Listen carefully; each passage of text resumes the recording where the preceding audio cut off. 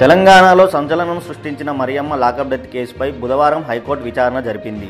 పీయూసీఎల్ దాఖలు చేసిన పిల్పై justice Satish Chandra Sharma justice A Rajasekhar Reddy నేతృత్వంలోని ధర్మాసనం విచారణ చేపట్టింది. మరియమ్మ మృతిపై విచారణ నివేదికను మెజిస్ట్రేట్ హైకోర్టుకు సమర్పించారు. నివేదిక పరిశీలించిన అనంతరం ధర్మాసనం మరియమ్మ కేసు సిబిఐకి అప్పగించాల్సిన అవసరం ఉందని అభిప్రాయపడింది. ఈ నెల ఇరవై రెండున విచారణకు రావాలని సిబిఐ ఎస్పీకి హైకోర్టు నోటీసులు జారీ చేసింది. కేసు పూర్తి వివరాలను అసిస్టెంట్ సొలిసిటర్ జనరల్కు అప్పగించాలని అడ్వకేట్ జనరల్ను ఆదేశించింది. విచారణలో అడ్వకేట్ జనరల్ ప్రసాద్ మాట్లాడుతూ ఎస్ఐ కానిస్టేబుల్ను ఉద్యోగం నుంచి తొలగించినట్లు కోర్టుకు తెలిపారు. దీంతో కోర్టు స్పందిస్తూ బాధ్యులైన వారిపై క్రిమినల్ చర్యలు తీసుకున్నారా అని ప్రశ్నించింది.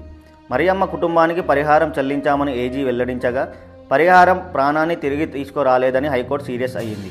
ఇతర అనారోగ్య సమస్యలున్న మరియమ్మ గుండె ఆగి చనిపోయిందని ఏజీ కోర్టు దృష్టికి తీసుకెళ్ళారు. రెండో పోస్టుమార్టం రిపోర్టు ప్రకారం కూడా మరియమ్మ ఒంటిపై గాయాలున్నాయని గుండె ఆగిపోయేలా ఎవరైనా కొడతారా అని హైకోర్టు ప్రశ్నించింది.